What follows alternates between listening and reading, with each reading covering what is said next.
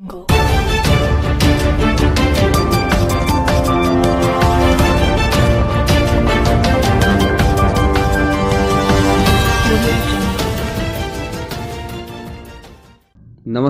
आप देख रहे हैं यूथ मुकाम न्यूज़ मतलब खबरें आपके काम की।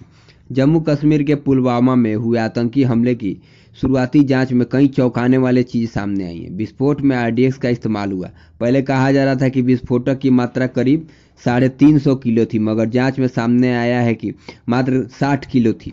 ऐसा धमाका 2001 के बाद पहली बार कश्मीर में हुआ। 2001 में कश्मीर विधानसभा के गेट पर आईडी धमाका हुआ था, जिसमें करीब 30 लोग मारे गए थे।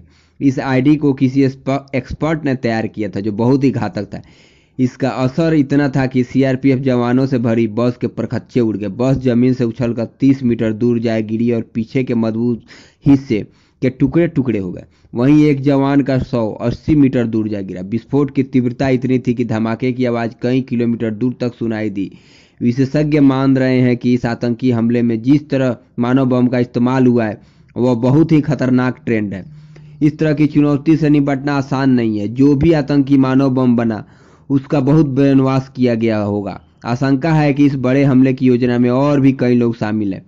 संदिग्ध लोगों से पूछताछ जारी है। धमाके वाली जगह से एजेंसियों की जाँच जारी है।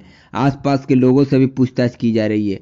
सीसीटीवी को भी खंगाला जा रहा है। हमले में जैश के आतंकी ही शामिल हैं और आशंका जताई जा रही है कि इसके दूसरे आतंकी संगठनों ने मदद की हो।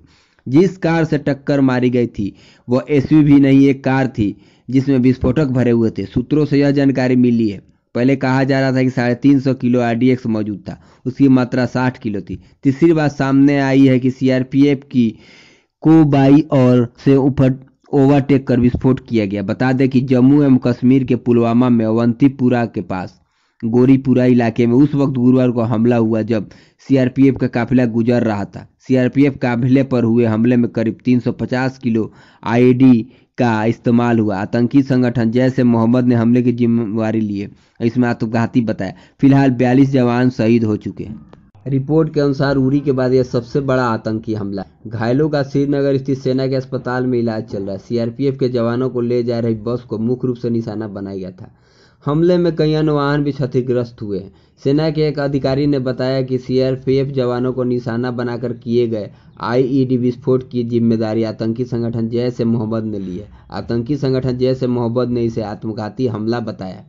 बता दें कि यह हमला श्रीनगर से सिर्फ़ 20 किलोमीटर की दूरी पर हुआ है। वहीं जैसलमेर से सीआरपीएफ के एक वरिष्ठ अधिकारी ने बताया, वहाँ चेक पोस्ट थी, लेकिन नागरिक बार बार चेकिंग का विरोध करते थे। बड़ी बात यह है कि हाईवे पर किसी जगह पर लापरवाही की गई थी, जिसके चलते आतंकी इतनी अधिक मात्रा में विस्फोटक लाने में कामयाब रहे। उन्होंने चेकिंग में भी ढील बरतने की आशंका जताई है। प्लीज़ हमारे चैनल को लाइक, सब्सक्राइब करके हमारा हौसला बढ़ाएँ। कंटेंट अच्छा लगे तो अधिक से अधिक शेयर कर दीजिए और बेल आइकन दबाना एकदम न